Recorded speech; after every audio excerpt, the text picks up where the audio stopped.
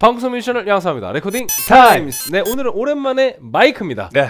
어, 그리고 이 브랜드도 오랜만이에요. 어, 이게 저희가 이제 예전에 리뷰하고 굉장히 음. 좋은 평가를 받고 맞아요. 참 새로운 또 가성비의 영역이다. 음. 그리고 이제 그때 저희가 기억나는 게 오스트리안 오디오가 음. 이제 우리가 좋아하는 이제 음. 214 우리의 주력 기본 모델이죠. 그리고 이제 여러분들한테도 참 많이 사랑받는 음. 214에 비해서 high는 많이 올라가진 않지만 음. 중저음이 굉장히 따뜻하게 따뜻하다. 잘 올라오고 그쵸.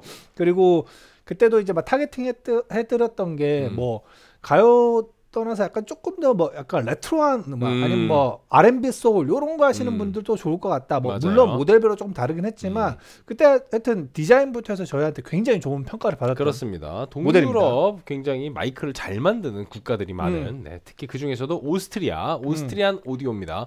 뭐 웜오디오하고도 이제 조금 그런 성향이 겹치는 교집합적인 네, 맞아요. 부분이 굉장히 많이 맞아요. 있고요. 네, 그 OC16 스튜디오 셋에서 60만 원, 음. 한 214와 비슷한 가격대라고 맞아요. 보면 되겠네요. 자, 지금 궁금한데 214 과연 지금 어느 정도 현재- 가격일지 한번 쳐볼까요? 저희가 뭐 왜- 오, 가격이 거의 똑같은 거 아니야? 어, 그러네요. 59만 4천 원, 어, 50 59만 8천, 4천 원 4천 차이. 차이. 오, 저희가 214를 어, 렉탐을 진행한 거의 2년 동안일까요? 네. 거의 2년 째까지 안 팔았죠. 어. 그 그죠? 너무 웃겼던 게 어. 맨날 결론은 214가 진짜 좋네 이런데 어, 안 팔아 안 팔아. 그래서, 그래서- 더욱 진정성이 어, 있었던. 진정성이 어. 있었던. 지금은 팔고 있습니다만 네. 저희가 진짜 그 초반에 비교 대상으로 214가 나와가지고 음. 214가 굉장히 뭐랄까 어 결국은 정답은 그럼 214인 거 아니야 음. 이래갖고 그때 발생했던 수요들을 버즈비에서 다 흡수했으면 꽤 많이 팔았을 거예요. 그죠. 근데 전혀 버즈비에서 그 뭔가 실익을 취하지 네, 못했던 전혀 취하지 못했어요. 네, 그 그건 다른 업체에서 다 가져가셨죠. 다 가져갔죠. 네. 네. 214에 그냥 수요만 늘려놨다. 그렇습니다. 지금 저희는 이제 기본 그 어탐이나 다른 그 프로그램들은 살사로 지금. 414로 바꿔놨는데 음. 214를 지금 렉탐에서는 계속 고수를 하는 이유가 414로 하게 되면 체급 맞추기가 일단 너무 음. 어렵고 비교 대상으로서 지금까지 계속 쌓아왔던 게 있기 때문에 네네네. 네, 214로 진행을 하도록 하겠습니다. 음. 자, 가격은 진짜 완전히 같은 체급이에요. 4천 차이. 그래서 오늘 다이렉트로 비교하기도 너무 좋을 음. 것 같고요. 오늘 제가 목이 좀 쉰 관계로 은총 씨가 보컬까지 나레이션까지 전부 다 맡아서 오늘 은총 씨또 재미있는 나레이션 어, 성대모사를 또 들으실 수가 있습니다. 음. 은총 씨가 되게 깨알 같은 성대모사를 잘하는데 오늘은 이정재가 준비되어 있죠. 네네. 관상의 이정재가 준비가 되어 있어요. 기대해 주십시오. 아이 뭐 기대까지 아니에요. 재밌게 보시면 될것 같습니다. 네. 어, 자 아래쪽으로 음. 이렇게 내려와서 보니까 cardioid 패턴, 어, 음. precision, 되게 익숙한 디자인이죠. 음. 이 오스트리안 오디오가 넙대대하고 네. 네모나고 약간의 이제 곡선을 띈이 디자인. 꽤 그렇습니다. 크기도 좀 있고요. 네 여기 오픈 콘덴서 large 음. diaphragm 시리즈에 새로운 마이크가 추가되었다 이렇게 되어 네네네. 있네요. 어, CKR 캡슐과 오픈 어쿠스틱 디자인을 통해서 투명하고 자연스러운 사운드를 음. 제공을 했다라고 나와 네네. 있는데요. 이쪽에는 이제 수제작된 CKR6 캡슐이 적용이 음. 되어 있고요. 그리고 다양한 악기에서 사용할 수 있는 만능 레코딩 마이크다. 범용성을 그죠? 굉장히 강조한 모델이라고 보시면 되겠습니다. 요 가격대는 범용성을 확보하지 못하면 사실 좀 접근하기 어렵죠. 그렇습니다. 자, 여기에 예, 방금 말씀드렸던 CKR6 음. 세라믹 캡슐, CKR12 캡슐과 동일하게 비엔나에서 수제작되지만 음. 하나의 diaphragm을 내장하고 음. 있고요. 어, 이게 CKR12 같은 경우에는 diaphragm 두 개. 음. 자, OC16. 그러니까 음. 가격대를 낮추면서 그 고급스러운 사운드를 계속해서 유지하려는 노력이 보이죠. 네네네. 자, polar pattern을 이제 확인을 해보면 cardioid 단일 패턴으로 네네. 다른 걸 선택을 하실 수는 없습니다. 그냥 이 아래쪽에 이제 frequency chart 쪽에서 그 low cut을 할 수 있는데 0, 40, 160 이렇게 음. 선택을 하실 수가 있습니다. 40과 160Hz를 깎았을 때 이 모양을 보실 수가 있고요. 기본적으로 frequency response는 이런 식으로 위쪽에서 살짝 올라가는 느낌을 가지고 있습니다. 네네. frequency range 뭐 20에서 2만 똑같고요. 그리고 dimension은 한 요 정도, 음. 요 정도 사이즈 어, 나오고요. 그리고 어, max sound pressure level은 148까지 나오고 네. weight는 335 굉장히 가볍습니다. 네. 가볍고 익숙한 디자인이에요.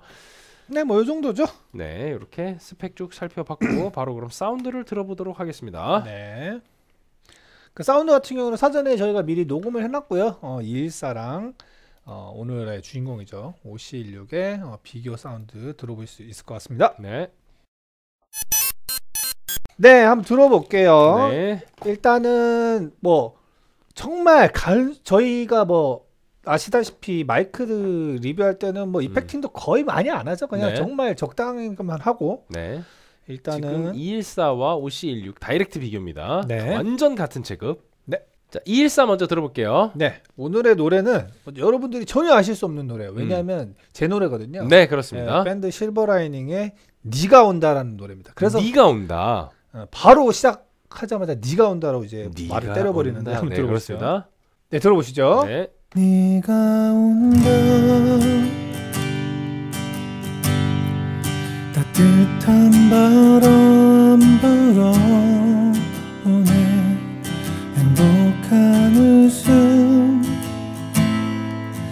두 눈에 가득 품고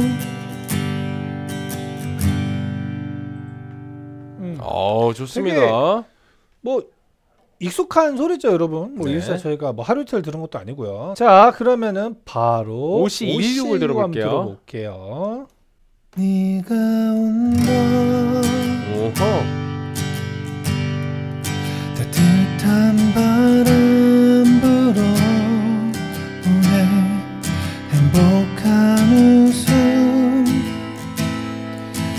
두 눈에 가득 품고 음. 네, 확실히 미들 쪽이 좀 더 많이 튀어나오는 사운드고요. 그죠? 그리고 이번에는 둘 다 드라이로 한번 그쵸. 모니터를 해보도록 하겠습니다. 다 드라이로. 네, 아 EQ도 적용되지 EQ 도 빼고요. 않은 생 드라이. 이번에는 다시 516부터 가볼게요. 네. 네가 온다 오, 미들이 따뜻한 바람 불어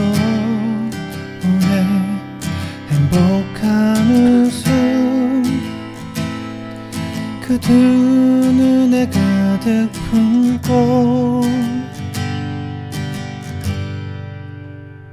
오, 그렇고요. 좋습니다. 214입니다 일산 좀 더 하이가 좀 많이 들려 있겠죠. 그렇죠 네가 온다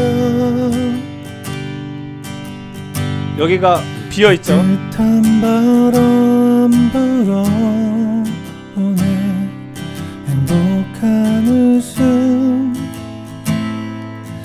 두 눈에 가득 품고 좋아요.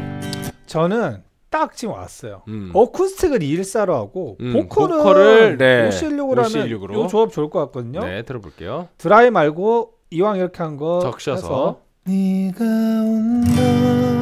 이거다 이거.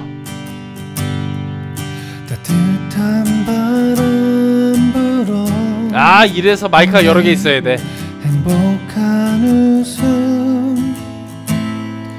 그 두 눈에 가득 품고 그러니까 내가 어, 이 조합 이래서 베스트다. 늘 생각하는 게 저희가 그 말하잖아요 우리가 이 이때까지 정말 수많은 마이크를 했는데 음, 이거는 악기는 좋은데 음, 보컬은 조금 애매하네요 음. 라든가 아니면 혹은 음. 어 이거는 보컬은 아뭔 소리야? 그, 그 똑같은 말 하는 거야.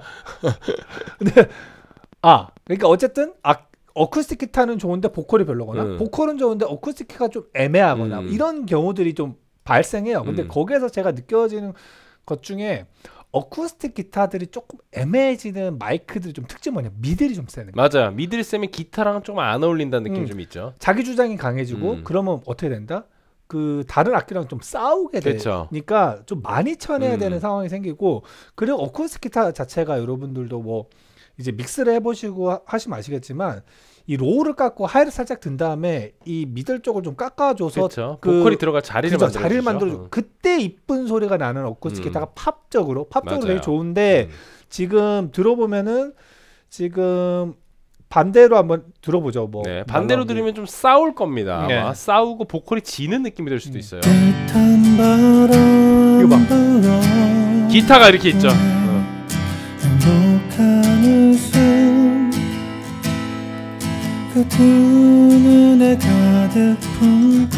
이게 지금 보면 좋습니다. 저희가 아, 저희가란다 제가 기타를 지금 마이너스 4.5까지 잡았어요. 그 보컬은 그냥 영집에서 만지지 음. 않았는데도 기타가 어때요? 막 싸우려고 덤벼들잖아요. 그렇죠. 이런 것들이 어 저는 요 마이크를 구매하시는 분들은 음. 좀 그냥 보컬로그만 좀 많이 하시는 분들이면은 오히려 좀 괜찮을 것 같고 음. 역시나 악기랑 나는 운영을 같이 한다고 하면은 조금 아쉽더라도 이일사가 음. 역시나 그런 부분에서는 뭐- 범용성에 있어서는 음. 진짜 뭐 워낙 좋죠. 요건 조금 더 보컬 친화적인 마이크라고 할 수가 있겠습니다. 네네네. 그렇다면 이제 나레이션은 어떨지 한번 은총 씨의 심혈에 심혈을 기울인 아, 뭐- 이정재 관상의 아, 이정재 그럼 한번 기대하잖아. 그냥, 그냥, 대- 그냥 네 평소 때 이렇게 하- 재미로 한번 네. 해봤습니다. 네, 이일사입니다. 내가 왕이 될 상인가? 저 리- 잘하 잘하네. 어, 왜 reverb가 왜 생겼지? 네, 아, 왜- 아까 왜 reverb가 거기다가? 적셔놨죠. 근데 reverb 있는 상태로 들어볼게요, 쟤도. 음, 아 잠시만요. 네. 아 이미 reverb 있는 상태 들어봤으니까. 네. 아 그래요. 음. OC16도 reverb 있는 상태로. 그죠. 네 이번에는 OC16입니다.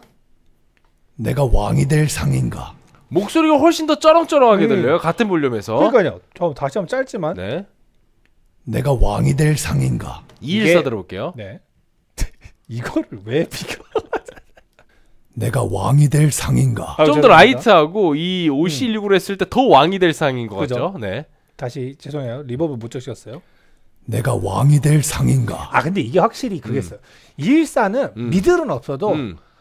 전체적으로 밸런스가 꽉 찬 느낌은 있어요. 그리고 좁지 뭐 많이 크진 않지만 음. 헤드룸이 좀 음. 많이 확보된 느낌이면 확실히 OCL6은 꽉, 꽉 차 있는 느낌. 음. 헤드룸 확보가 음. 조금 음. 좀 어려워 보여요. 근데 음. 하지만 그런 되게 그 보컬의 이미지가 녹음을 했을 때 되게 좀 강하게 드러나야 되는 음. 음. 악들이 있어요. 예를 들면은 제가 요런 마이크는 딱 그 드는 게 뭐냐면 발라드에선 별로 안 어울릴 것 같아요. 음. 왜냐하면 발라드는 워낙 악기도 많고 자리 배분도 음. 많이 해야 되는데 왜 그런 거 있잖아요. R&B 소울 같은 거 소스 별로 없는데 음. 소스 하나 하나가 되게 그 자리에서 자기 소리 확실하게 냅니다. 맞아요. 뭐 드럼도 샘플로 음. 해가지고 뭐 여러분들 요즘 많이 쓰죠. Splice에서 굉장히 그 빡빡한 그 음. 샘플들 그리고 이제 막 악기도 별로 없는데 소스 하나가 힘이 있는 이런 음악들 뭐 R&B 뭐 음. 힙합 뭐 아니면 어떤 부분에서는 조금 retro한 댄스 같은 데서도 음.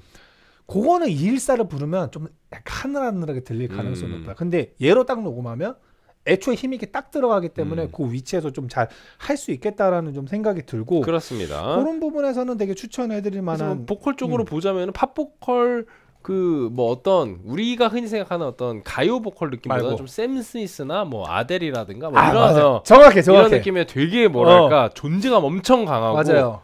뭐 그런 귓전에 그냥 그 사람의 목소리가 팍 음, 꽂히는 여기 것 같은 딱 어, 거. 그런 느낌의 보컬의 성향이 아주 잘 어울리는 음. 그런 마이크가 아닐까 그리고 싶습니다. 더빙을 많이 하지 않는. 음, 더빙 음. 많이 하지 않는 목소리 음. 하나로 끝내는 음. 214는 더빙에 최적화된 마이크예요. 어, 왜냐하면 코러스 많이 쌓고 음. 여러 개로 녹음해도 아까 말했잖아요. 헤드룸이 그래도 어느 정도 확보가 됐어서 음, 잘 공존했는데 아마 이거는 이 가- 엄청 답답하게 들릴 어, 걸. 같은 위치에서 어. 하면 계속 이게 쌓여서. EQing을 엄청 좀 잘 하시면은 오히려 또 독이 되는 게 아니라 훨씬 더 음. 좋은 퀄리티 뽑아낼 수 있는데 음, 내가 좀 mix가 좀 약해. 음, 그러면은 그럼 쉽지 않을 약간 거예요. 좀 네. 어려울 수 있어요. mix가 약하면은 이걸로 doubling 하는 거는 굉장히 뭐랄까 음. 어, 감당하기 어려운 음. 네, 그런 작업 방식이 될 수 있고요. 뭉치는 네. 사운드가 연출될 확률이 어, 높죠. 아까 보시면은 은총 씨가 중간에 들려줬던 214 기타와 OC16 보컬이 음. 굉장히 좋은 네, 음. 합을 보여줬었죠. 네네네. 그런 식으로 활용하시면 될 것 같습니다.